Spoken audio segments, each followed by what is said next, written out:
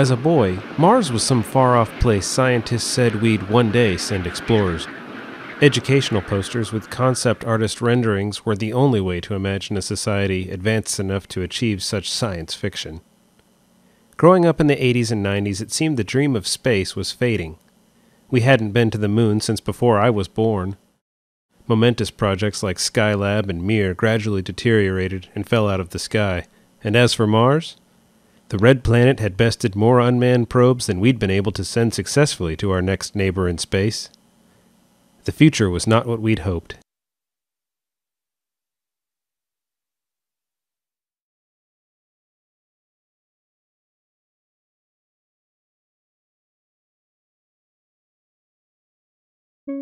Then one day I read about America's newest manned deep spacecraft. Not some exotic space plane or hypothetical interstellar ship, this Orion looked like a throwback to the Apollo era. Okay, that's nice, I thought. We're regressing back to the Stone Age of human spaceflight, not advancing. Probably just a funding gimmick anyway, what with every movie a remake and every sports car a classic reboot nowadays. Then again, that new Challenger is pretty cool. Orion, it turns out, was more intriguing than I'd expected. Larger than Apollo, for one. More crew capacity and built to visit a nearby asteroid, or what was this? Mars? Surely a working manned Mars ship would never fly. America didn't aspire to such heights anymore. Besides, how would we even launch something like a mission to Mars? Enter the SLS, the first time I saw a sketch of the planned space launch system, my jaw dropped a bit, and I felt a little nostalgia for those artist concepts from my youth. This thing would be incredible, dwarfing anything I'd ever seen, reminiscent of the old Saturn V's that took us to the moon so long ago, plus with modern lifting power that set this new spaceship design squarely in my time. When NASA's social media team invited me to be a part of Orion's Exploration Flight Test 1, I knew I had to be there. America's fabled journey to Mars was literally getting off the ground. Texas has always been a part of the space program. Mission Control at Johnson Space Center, just south of Houston, has been on duty since the beginning of manned spaceflight, through the illustrious shuttle era, and continuing on for the ISS. With credentialed access to the facility for what could be history in the making, my childhood fascination with deep space and the science of its exploration had been rekindled. This event would be my opportunity to live the dream of being a part of NASA for the day, and my chance to tell people about this newly discovered world of innovation happening right under our noses in what might have been mistakenly considered the detritus of an age gone by.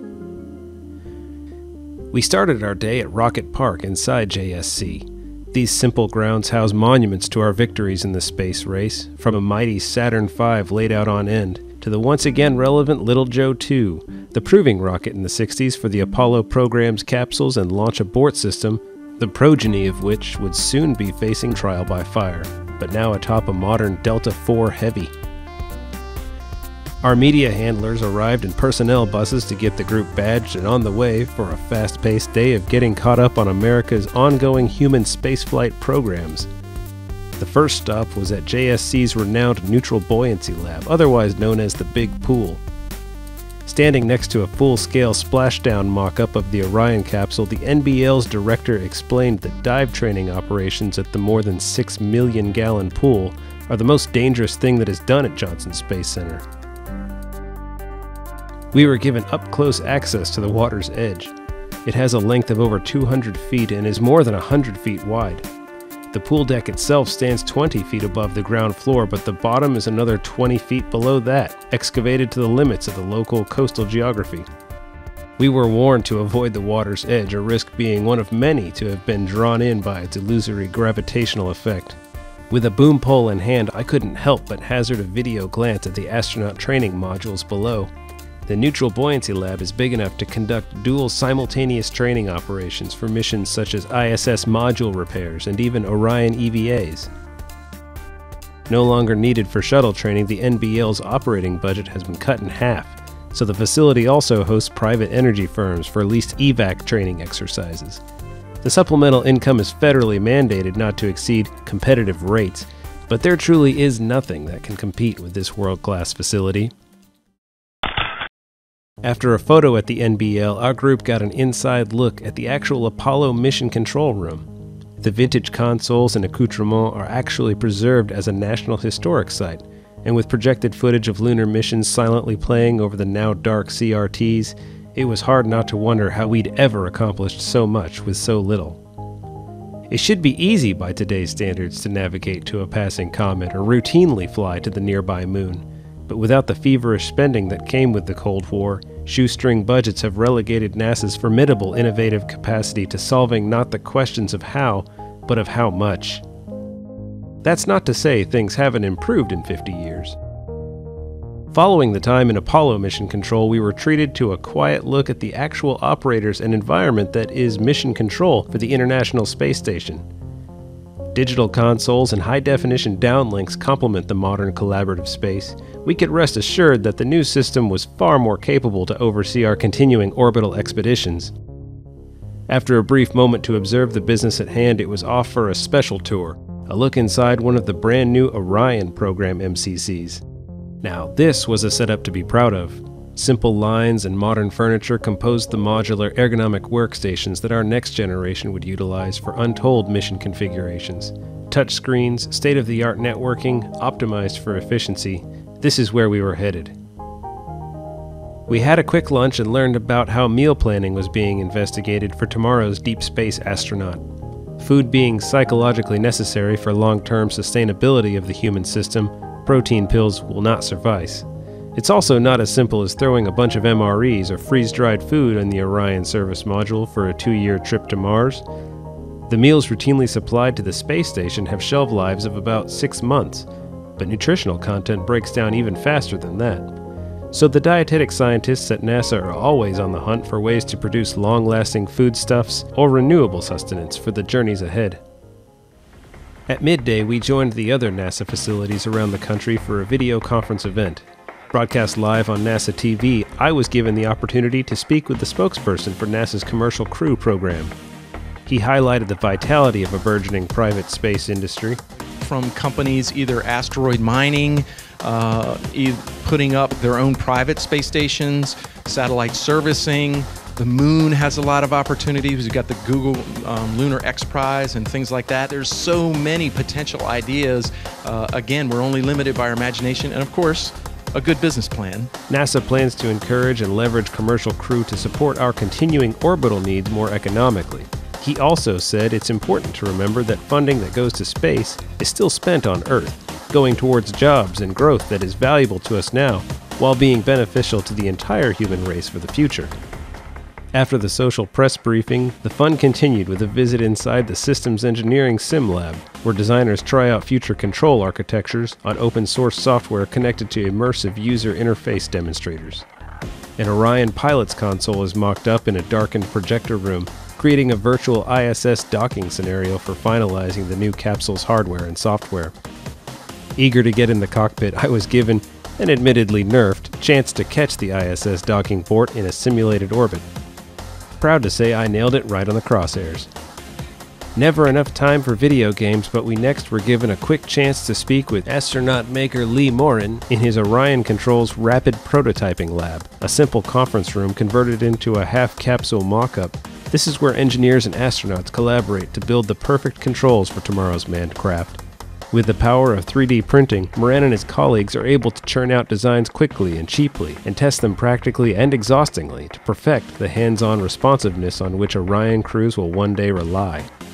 One of their latest innovations is a mouse like grip control that will allow astronauts to confidently manipulate flight and information systems while wearing bulky pressure suit gloves on a shaky rocket ride.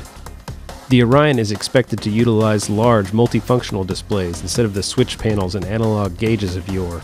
To make sure all of that complexity works as advertised, the redundant, resilient control afforded by this homebrewed design will likely be essential.